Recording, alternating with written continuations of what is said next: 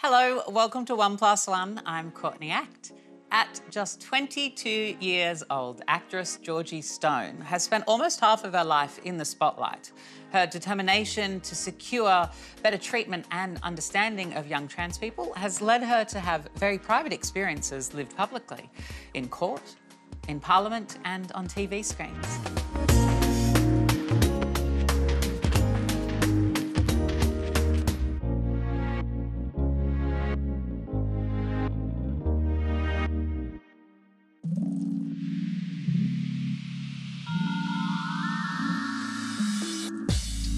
The waterhole?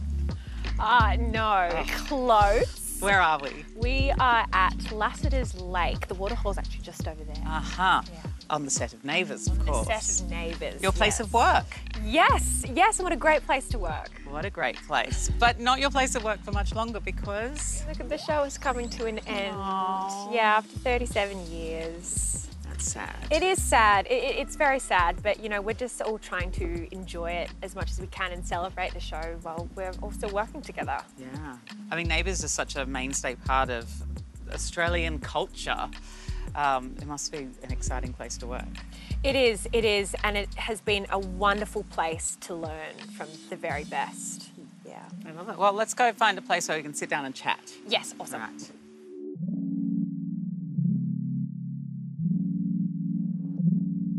Georgie Stone, welcome to One Plus One. Thanks for having me. My pleasure. Now, we are not just in any old town centre. There's a florist, there's a cafe, there's an Australia Post. We are, in fact, at Lassiter's on the set of Neighbours, your place of work. Yes.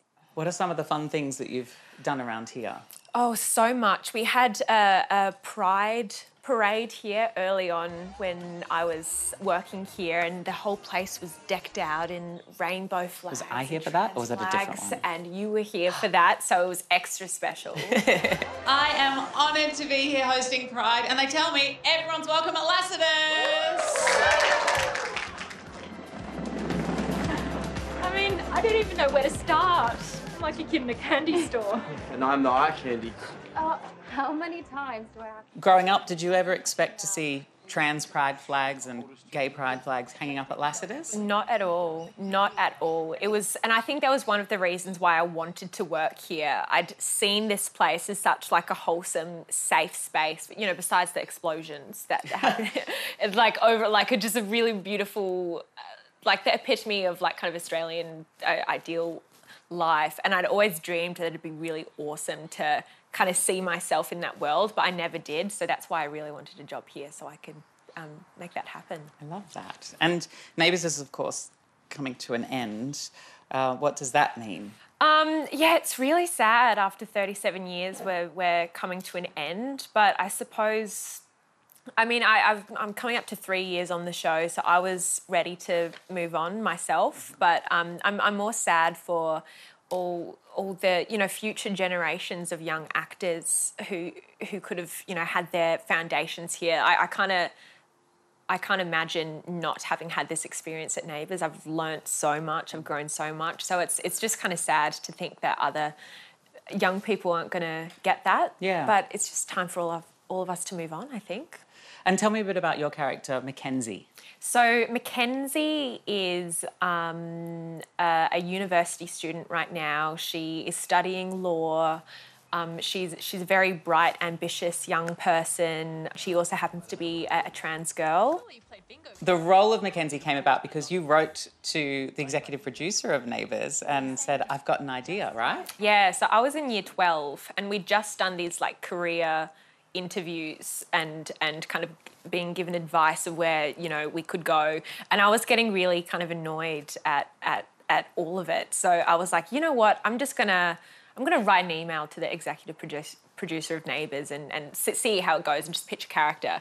Not really expecting anything to come of it. I was just kind of like rebelling against um, my school. Um, but then I, I got a response two hours later from from Jason Herbison, and um, he really liked the idea. What was the idea? The idea was to have a, a trans young person uh, in Neighbours who was the, um, the the secret child of Scott and Charlie, which was so embarrassing. Um, but mostly, mostly, I talked about the importance of having a trans representation on screen and how there hasn't been enough of that, and how I, it would be wonderful to have a trans character who wasn't tragic but but hopeful and, and someone that that people can can look to and learn from and, and derive hope from. Um, and that that neighbours would be the perfect place to do it. Um, yeah, and, and, then it happened, which is crazy. And it was only supposed to be for six weeks, and and three years later, I'm still hanging around Lassiter's. What do you think it would have meant for you seeing Mackenzie on Neighbours when you were growing up?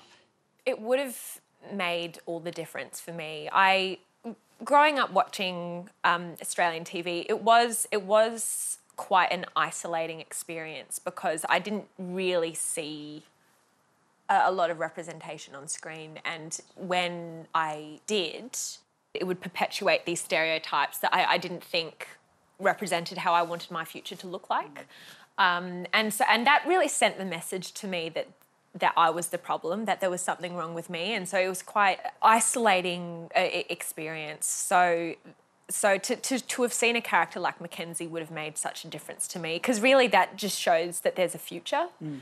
Um, and that was one of my biggest fears when I was a kid. That I couldn't see a future for myself.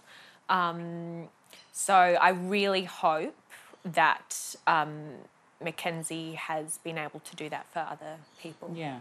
I could imagine that many of those narratives and storylines uh, where you get to just be a character on a TV show must be wonderful. I know that you have spent a lot of your life, your real life, sort of dedicated to um, trans equality and ensuring access and rights for trans folks around the country.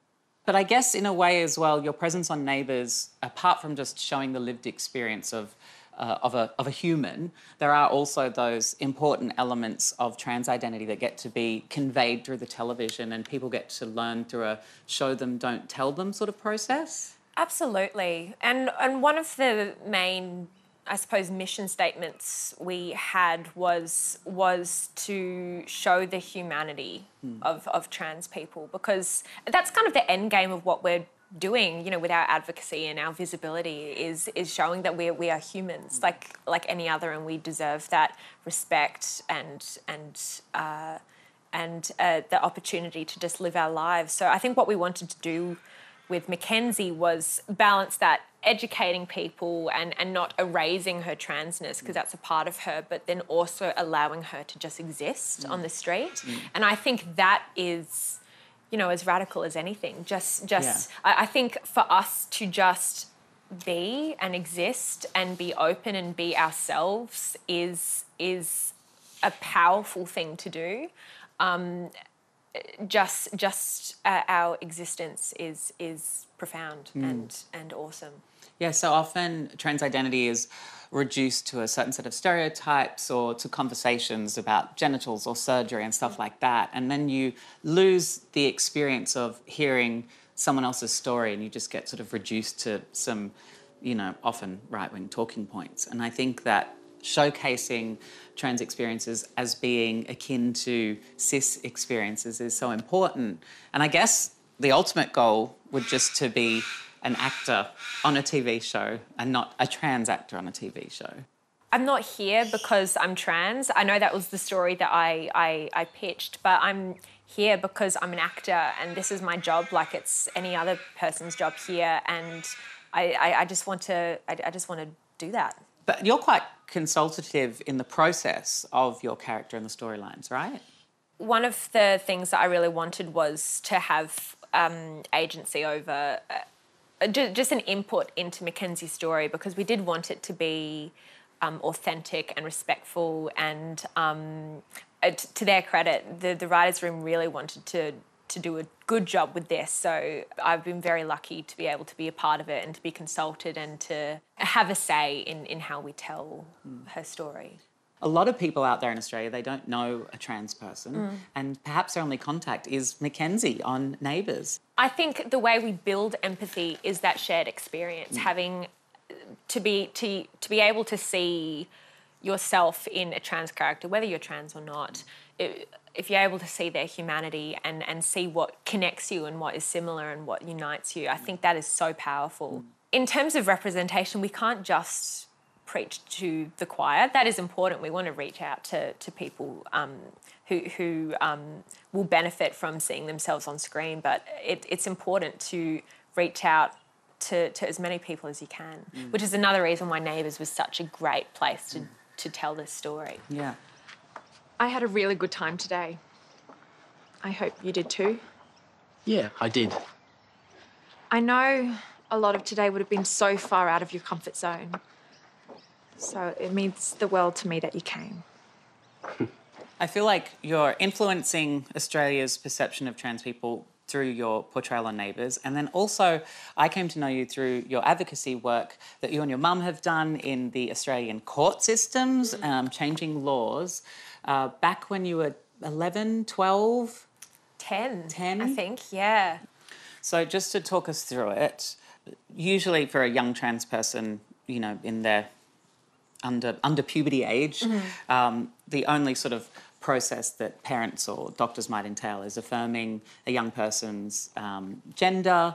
Uh, with clothing that they might wear, with the name that they might like to be called, listening to the child, listening to what they're saying about who they are, and sort of affirming that and following that. Absolutely. And then um, approaching puberty, some um, young people might seek to go on puberty blockers, which are essentially um, stopping that process of the puberty of the sex that you're assigned at birth. Yeah. It's really about um, buying you a bit of time. Yeah. Um, and because puberty blockers are completely reversible, and it, it just offers you the time to, you know, think about who you are and your identity um, and, and not experience those changes um, that can be quite harmful to, mm. you know, a young person's mental health. And it's also good too to acknowledge that everyone's experience is different. Yeah. Some, you know, trans young people don't don't want to have um, uh, medical intervention don't need it or don't have access to it. So it, it really, the experience is quite individual. Mm. Um, uh, it really just depends on, on the person, the young mm. person. You mentioned um, the harmful effects uh, that can happen. Can you talk me through some of those? Well, for me personally, when I started seeing changes to my body at you know at ten, I was very young. Um, that that you know was was the beginning of, of male puberty. It was very scary. I felt like i was i was losing control over my body. And that's such a scary feeling to have to feel like you don't have a, a agency over what's happening to you and you can't stop it. And and i knew that if if puberty hit and i had to go through that my my mental health would have just plummeted. I don't think i don't think i could have made it mm. um, quite honestly so, in accessing gender affirming medical care like puberty blockers or cross sex hormones, um, when you started your transition, tell me about that process. So, so at that time, when I was around 10, even though I had the support of my mum and dad and had the support of my doctor who was at the Royal Children's Hospital,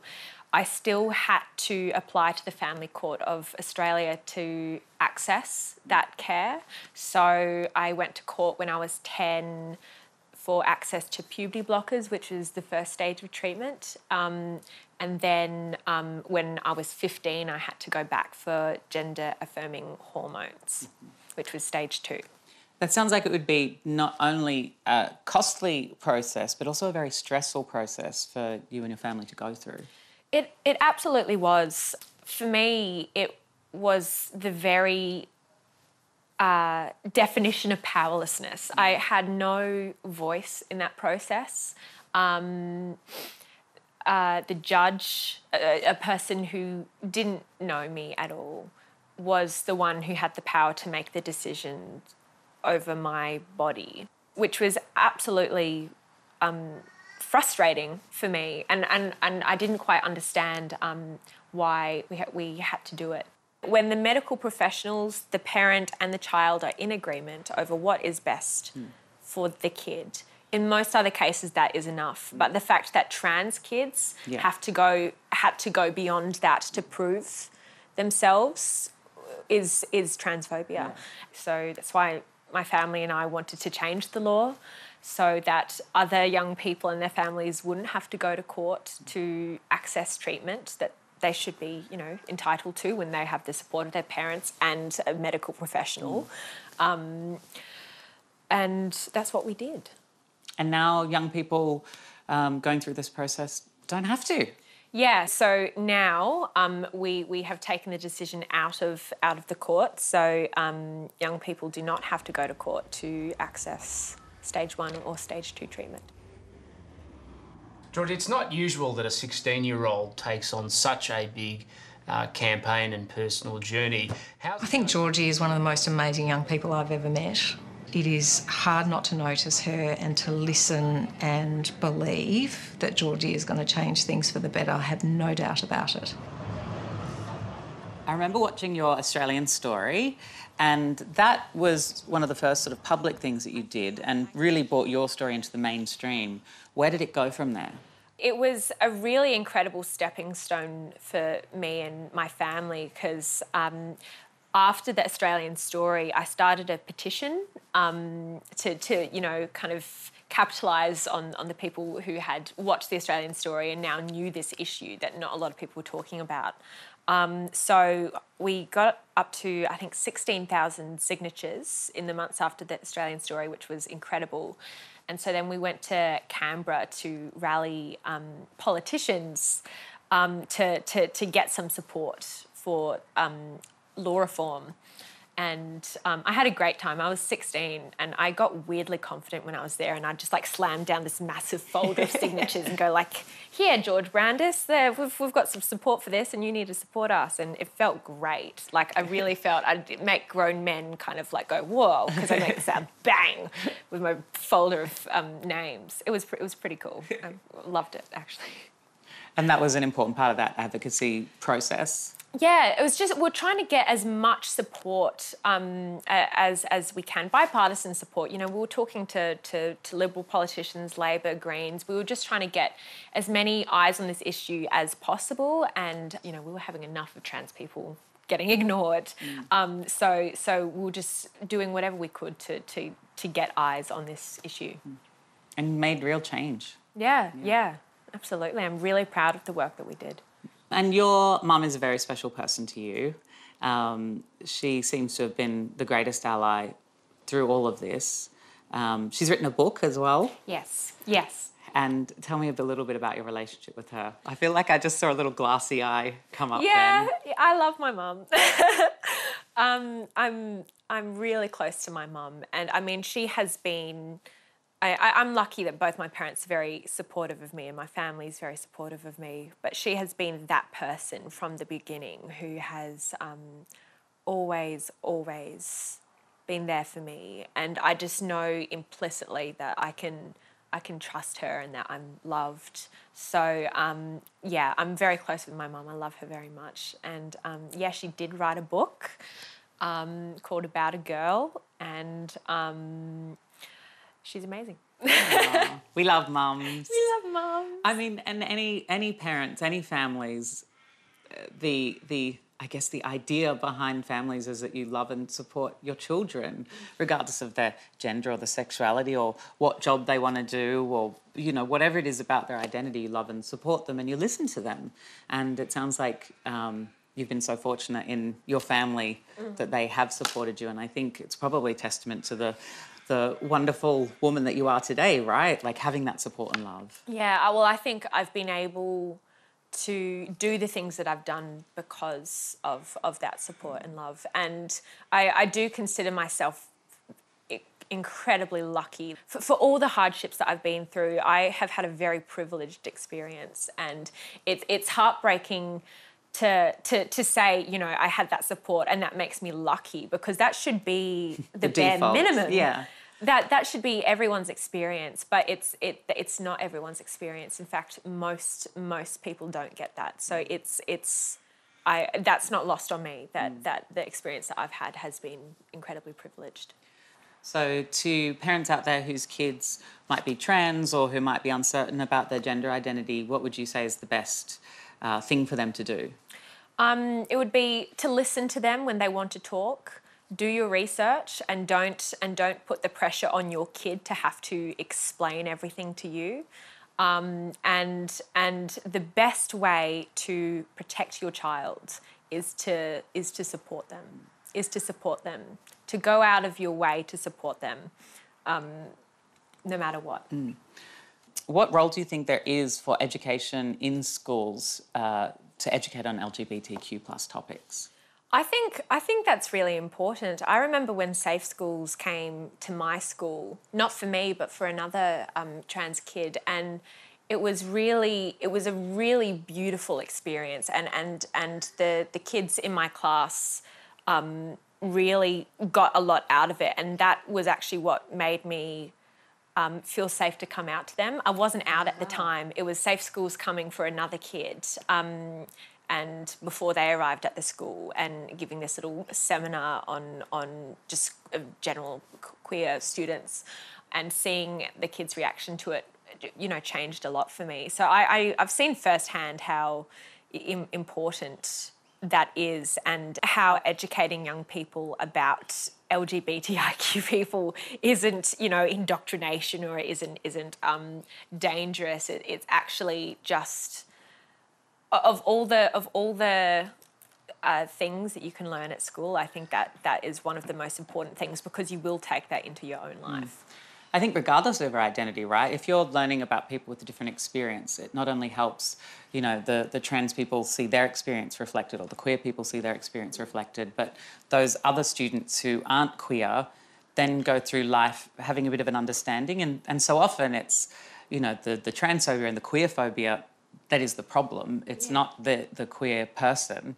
And so to inform and educate all of those other people is going to reduce yeah. um, the discrimination that those people face in public. Absolutely, absolutely. It's a win, win, win. And not just for the students, for the teachers as well, and for the parents. I think there's so much that can be. Um, gained from from not erasing that. Mm. What it does, it just equips people with enough understanding to be able to to interact and have a connection with you know a, a queer person and and not feel so unsure of yourself. Because I think a lot of it is a, a, lot of the issues that we have in terms of supporting um, queer people in Australia isn't from malice; it's from ignorance mm. and just a fear of if you meet someone you don't know, you don't want to say the wrong thing, so end you end up just not saying anything, and it's just really awkward and and and and weird. Um, just having that just very general foundation of knowledge can make such a big difference. Yeah. And so often, you know, we sort of hinted then saying about um, you know, it's not brainwashing or it's not this. And, and, the, and the reason we would talk like that is because so often queer identities and trans identities are used usually by the, you know, the right wing and the sort of more religious extreme types to, you know, weaponize trans identities in politics. And I just want to know what, what that's like. Like, what sort of, what, that obviously must do damage to some of the most vulnerable people in our community. Um, and if you can just sort of tell me a little bit about that feeling and, and why those conversations are so damaging. Um, it's it's incredibly damaging. So often, trans people, especially trans kids, have been thrown under the bus. Um, when it comes to to politics, I don't think that being queer or or or, or you know trans sh- should inherently be political. It's become politicized Mm. Our, existence has become politicized because often, you know, the far right want to, you know, use us to generate fear. Mm. You're just a human who's trying to go to school, who's trying to play sport, who's trying to use a bathroom like everybody else. Exactly right. Our existence has been used to create moral panic and fear mongering and you know and and what is so dangerous to them is that our our being open and completely ourselves completely debunks that. You know, it's not like having that representation will make you trans because then if that's the case, how come I, you know, am trans and I actually didn't see anyone who was trans when I was growing up. Mm. It really just gives people the sense of self. We want to feel safe everywhere. We want respect and just a little bit of dignity. Yeah. We're just asking for what, what everyone else has and, and really and get to enjoy. And that's not a big thing, but to, to a lot of people, they see that as us wanting to take power away from other people or it, it somehow jeopardizes their privilege that we get to to to live our lives freely. Um, and that's not the case. Yeah. You have got a documentary that uh, is called The Dream Life of Georgie Stone that is coming out soon on Netflix. Yeah. Tell me a little bit about that and why you wanted to tell that story. Um, so that documentary came about. The incredible Maya Newell, um, who's the director, approached my mum um, through her support group in 2014. Um, and um, wanted to to to work with young trans people and, and film them and learn a little bit about them and you know hopefully create a project out of it. So she started filming me at 14. I ended up being the only kid that she filmed, and so from the age of 14 onwards, she's been, you know, coming into my life, filming little bits here and there, just about my growth through the advocacy that I've done with my mum. And it's going to be on Netflix, which is crazy. It's, it's great. We didn't know what we were making when we were filming it. We had no idea really what we were, there, there was no firm plan at the beginning. It just sort of evolved as, as it went along. But it's very exciting. It is, and it's a great watch. And I think again, it just will help to educate people and help them to understand, um, you know, your experience of, of your identity, which I think is so important. Absolutely. And one of the things I'm proud of with this film is that I have had full creative control over what goes in and what doesn't. So often with with um, with the advocacy that we've done, our story, we've told our story, but it hasn't been on our terms. It's always been filtered through someone else's lens.